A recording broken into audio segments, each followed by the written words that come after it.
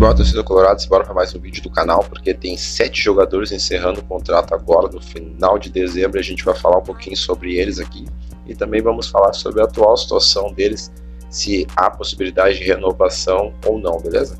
Sempre com o apoio de Crossbike, caso tu queira encontrar uma bicicleta personalizada, entre em contato com o pessoal, o link vai estar aqui na descrição. O pessoal tem atendimento lá super qualificado e vale muito a pena. Então dá uma passadinha ali. Primeiro link aqui na descrição. Beleza? Inscrito no canal, vou te convidar também a se inscrever no canal, porque aqui a gente está produzindo conteúdo em prol do internacional todos os dias e a tua inscrição fortalece a gente muito, beleza? Então se inscreve aí, deixa o like. Sem mais delongas, já bora lá pro conteúdo. E abrindo a lista temos o nome do Thiago Galhardo, né? um jogador que no começo despontou bem no Inter, posteriormente acabou relaxando um pouco e perdeu espaço para jogadores como Yuri Alberto, propriamente o Guerreiro também voltando de lesão, e teve o, o, Abel Hernandes também, era uma época que o Inter tinha quatro centroavantes, mas o Thiago Galhardo acabava fazendo alguns gols, mas quando acabou perdendo espaço para os demais atacantes, uh, teve um, um, fato inusitado que ele acabou não sendo utilizado no, no, durante a partida e posteriormente ele entrou na, na sala do Paulo Brax e perguntou se eles iam colocar ele para jogar ou se iam ficar levando ele para um lado e para o outro, fazendo ele de bobo, de idiota. Isso aí gerou um desgaste entre direção e jogador. Daí, subsequente, ele foi emprestado né, ao Celta de Vigo, que por um milhão de euros, na verdade, o passe fixado dele é um empréstimo né, de uma temporada ou uma temporada e meio com um milhão de euros fixado, mas um valor que o Celta ainda não se disponibilizou a pagar, em momento algum acenou que irá efetuar o pagamento do jogador. Inclusive, ele eh, fez uma cidadania italiana para tentar induzir o clube a, a, ficar com ele, porque daí não, não conta mais como um estrangeiro no plantel, né, atualmente. Mas o clube não se manifestou em momento algum, então bem possível que seja devolvido ao Inter, mas que não será aproveitado.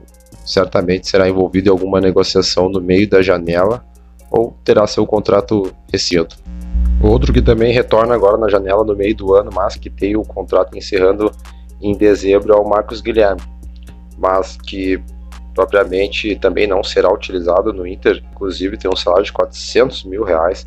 Eu não sei quanto que o Santos uh, defende lá, mas não, não é muito mais de 200 mil.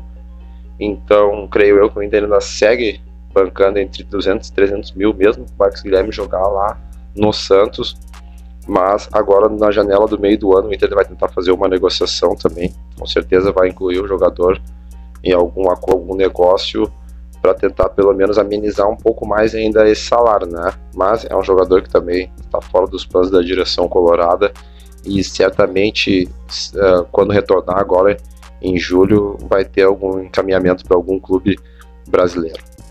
Outro também que vai ter o seu contrato se encerrando em dezembro é o Carlos De Pena, né? Porque quando ele chegou, o Inter tinha muito poucos subsídios em cima desse jogador aí, na verdade era só uma indicação do Cacique Medina, então o Inter assinou com ele até o final desse ano, né? Porque praticamente era considerado uma aposta, mas que se vem desempenhando esse mesmo futebol que vem apresentando nos jogos que participou, vai ter o seu contrato renovado certamente por mais uma ou duas temporadas.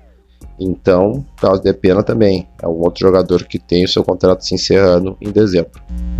Outro que também vê o seu contrato se encerrando em dezembro é Gabriel Mercado, um zagueiro que chegou na metade do ano passado, se não me engano, por indicação do Diego Aguirre e também oscila entre altos e baixos.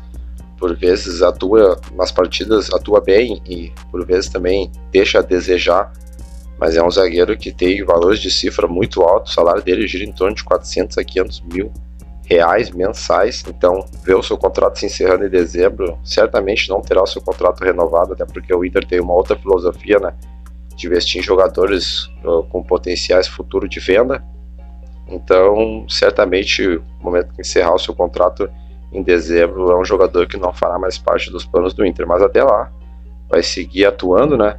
Quando uh, for necessário, porque também tem os jogadores, tem o Rodrigo Moreto que voltou agora, tem o Kaique Rocha que uh, tá machucado, mas por vezes atua bem quando, quando tá à disposição. Também tem propriamente o Vitão, que precisa de ritmo de jogo, o Bruno Mendes, mas o Bruno Mendes também agora vai, vai encerrar na metade deste ano. Mas enfim, é um jogador que, que não faz parte uh, do, do, dos planos do clube para uma renovação e certamente deixará o clube em dezembro.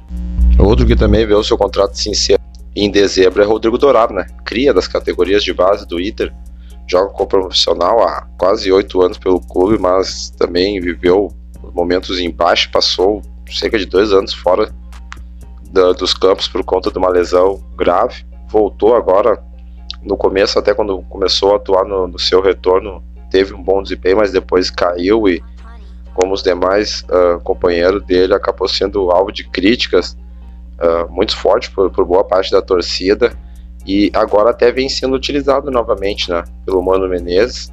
Mas vamos ver, é um jogador que é incerto, não posso dizer nem que ele vai renovar ou que não vai renovar. É um jogador que é incerto, vai depender muito, há, há probabilidade que não renove. Mas daqui a pouquinho ele encaixa nesse time do Mano Menezes, aí não tenha como tirar ele. Então certamente o Inter vai renovar ele, porque a direção acredita no jogador.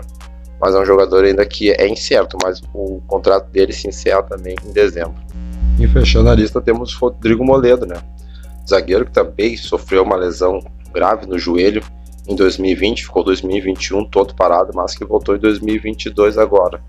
Então, deu, trouxe segurança para a defesa do Inter, é, é, titularíssimo, inclusive a comissão do Mano tem um projeto em cima dele de utilizar ele durante algumas partidas e preservar em outras para estar à disposição nas partidas mais importantes do Inter. É um jogador que a direção tem interesse sim de renovar, mesmo pela idade avançada dele, que vai para 35 anos, né? Tendo em vista que vai ter a mesma idade do mercado.